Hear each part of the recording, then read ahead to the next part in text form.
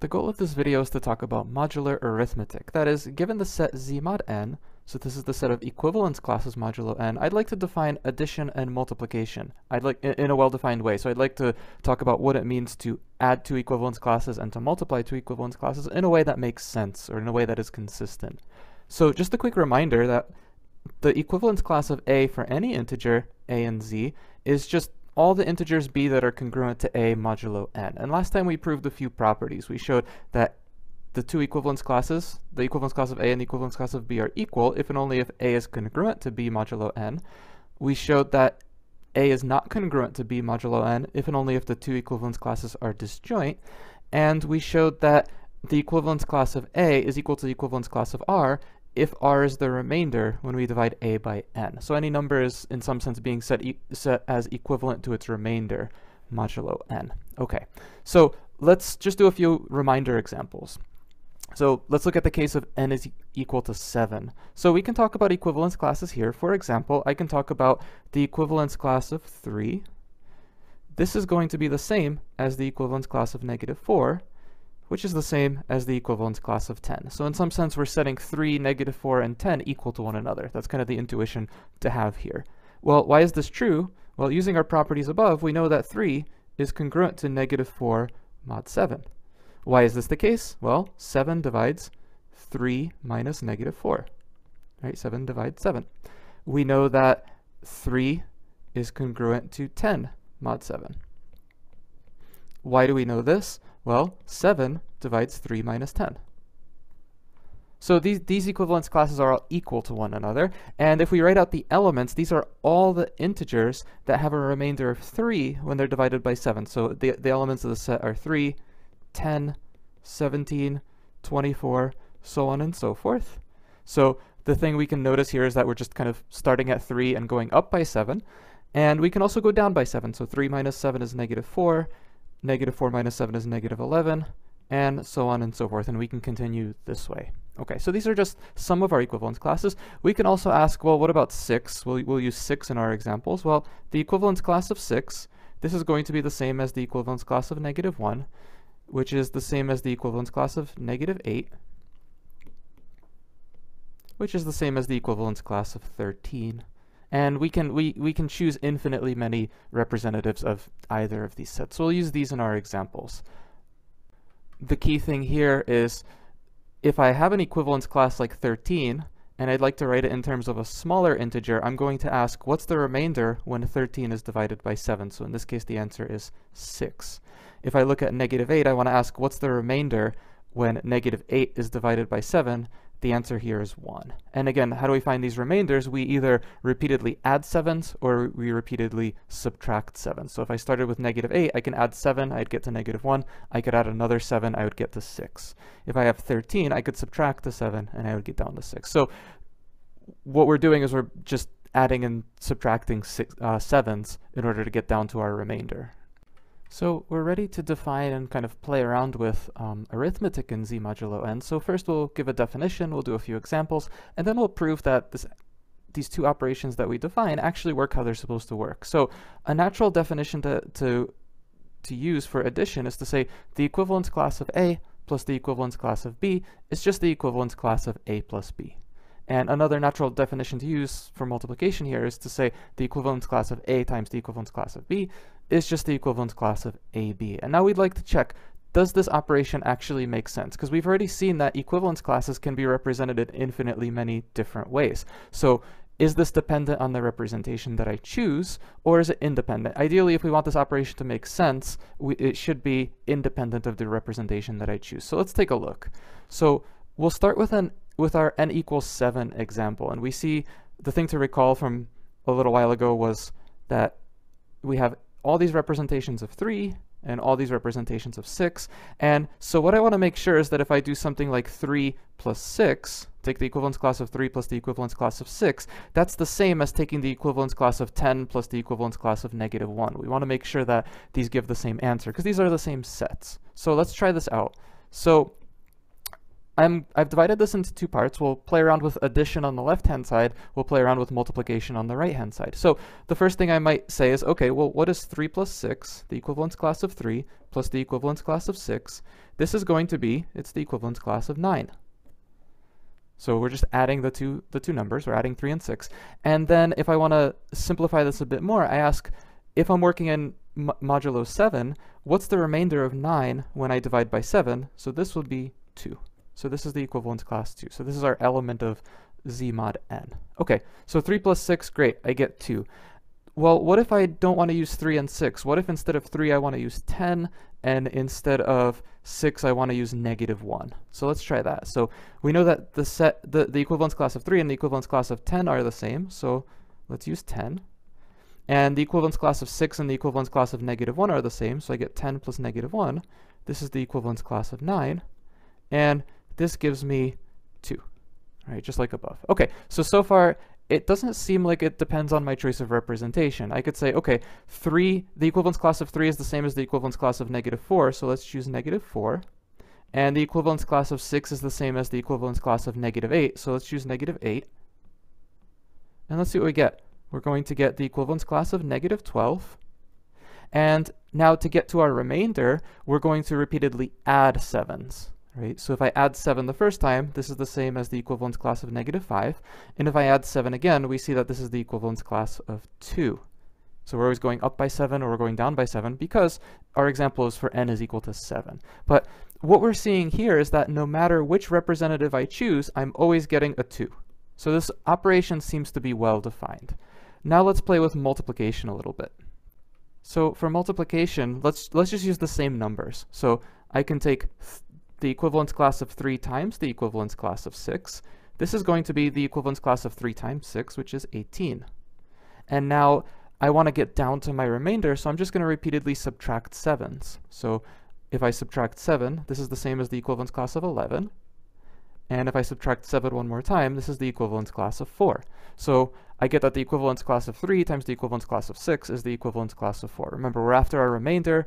The remainder of 18 when it's divided by 7 is 4. Okay, so we get 4. Now, let's check our other examples. What if instead of 3 I wanted to use 10, and what if instead of 6 I wanted to use negative 1? So let's do the equivalence class of 10 times the equivalence class of negative 1. We're going to get the equivalence class of negative 10 and now we want to get up to our remainder. So if we, if we have a negative number, we want to add 7s. So negative 10 plus 7 is negative 3. And negative 3 plus 7 is 4. Okay, so we get the same result. We get 4. Great. Let's try our last example. Let's try, instead of the equivalence class of 3, we'll use the equivalence class of negative 4. And instead of the equivalence class of 6, we'll use the equivalence class of negative 8. So let's do minus 4 times minus 8 and what is this going to give me? This is going to give me 32. Okay. And now I'm just going to repeatedly subtract 7. So 32 minus 7 is 25. 25 minus 7 is 18. 18 minus 7 is 11. And 11 minus 7 is 4. Right, so I end up with the equivalence class of 4. Okay, so I see that this operation seems to be well defined as well. Okay, so now let's prove that this works how it's supposed to work. Or rather, let's prove that everything here is well-defined and makes sense, right? So we see that this is working out in our examples, but we'd like a general proof of this fact. Okay, so now we're ready to prove a theorem. We're going to show that if A and B give the same equivalence class, and C and D give the same equivalence class, then adding the equivalence classes of A and C is the same as adding the equivalence classes of B and D. Similarly, adding the equivalence, uh, multiplying the equivalence classes of A and C is the same as multiplying the equivalence classes of B and D. Okay, before we prove this, we're going to reformulate this because working with equivalence classes, I mean, it's fine, but there's a better way of reformulating this in terms of modular arithmetic. So what we're going to do is we're going to write an equivalent statement. The thing to remember here is that the equivalence class of A is equal to the equivalence class of B if and only if a is congruent to B mod n.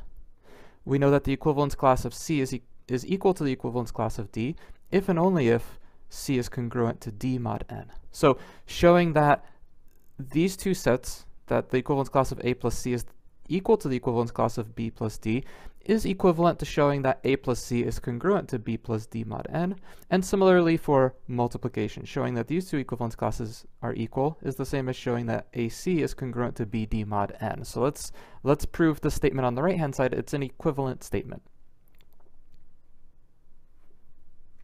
So let's begin our proof. So I'll write, suppose that a is congruent to b mod n,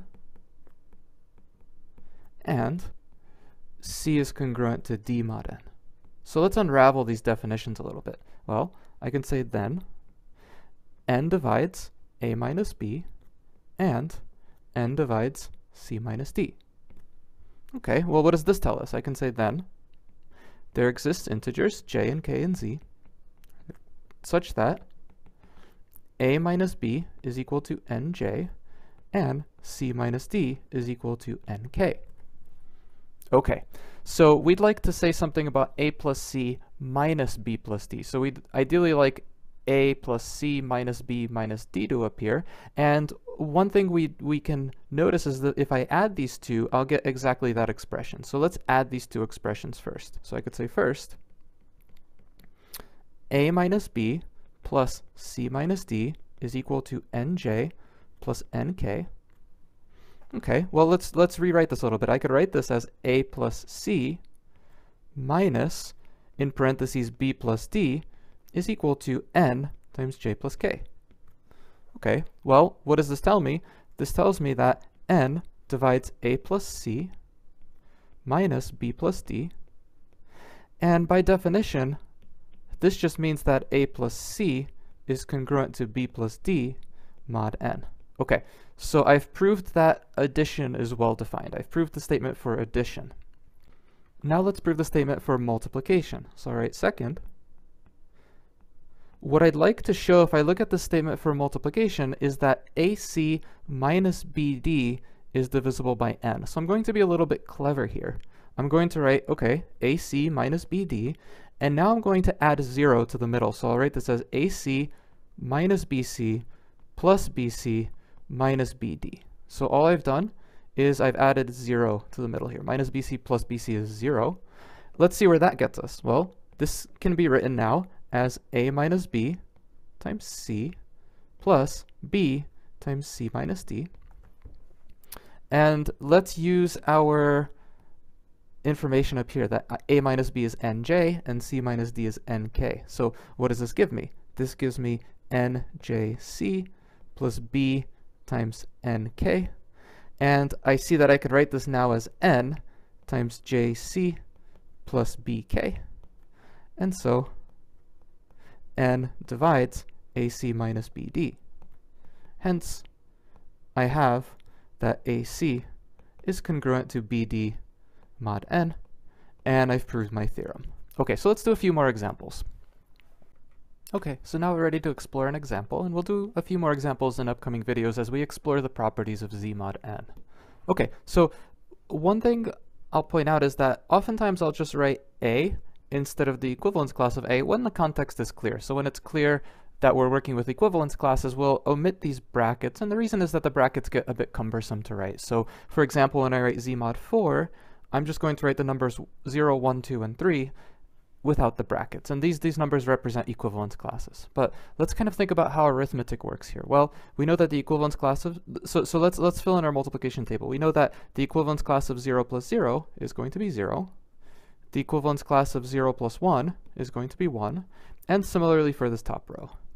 Okay, so this is not that interesting. Similarly, if I go down uh, this column here, I'll see that 1 plus 0 is the same as 1, 2 plus 0 is the same as the equivalence class of 2, and 3 plus 0 is the same as the equivalence class of 3.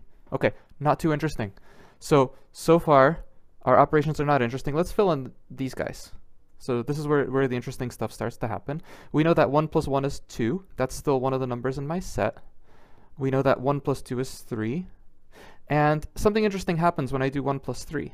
When I do 1 plus 3, I should get 4, but the equivalence class of 4 is the same as the equivalence class of 0 when we're working modulo 4. So we'll write that 1 plus 3 is equal to 0. So the thing to note here is that 1 plus 3 is equal to 4, which is the same as 0. So now we're just taking remainders. If we get a number that's 4 or larger, we're going to ask what is its remainder modulo 4 and reduce it down to that remainder. So similarly in the next row, I can do 2 plus 1, I'll get 3. That's fine. That's one of the numbers in my set. But if I do 2 plus 2, I'll get 4.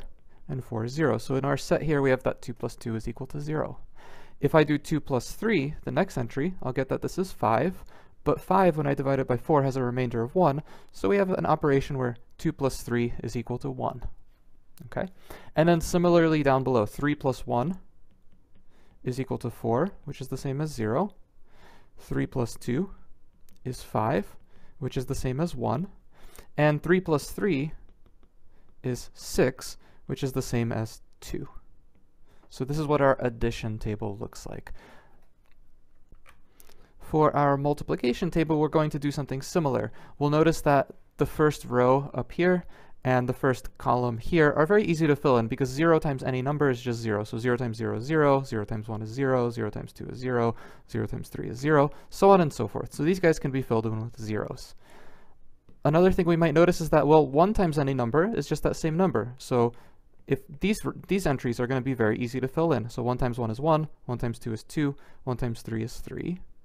Uh, 2 times 1 is 2, 3 times 1 is 3. Okay, so those are those are pretty straightforward to fill in. The remaining four are going to be the interesting ones. So let's do 2 times 2. Let's fill in this entry.